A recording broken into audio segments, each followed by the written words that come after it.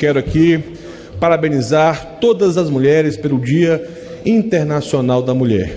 Aproveitando a oportunidade, quero parabenizar as mulheres do meu Brasil, do meu estado, Minas Gerais, em especial a minha classe de enfermagem, que é 85% de mulher. E, senhora presidente, quero aproveitar a oportunidade para pedir ao presidente da República, à ministra da Saúde e todo esse governo para aproveitar o Dia Internacional da Mulher e contemplar as mulheres da enfermagem. Hoje é o dia, edita a medida provisória que garante o piso nacional da enfermagem, minha presidente. Quero que registre esse meu discurso nos anais dessa casa e na voz do Brasil. A enfermagem merece respeito.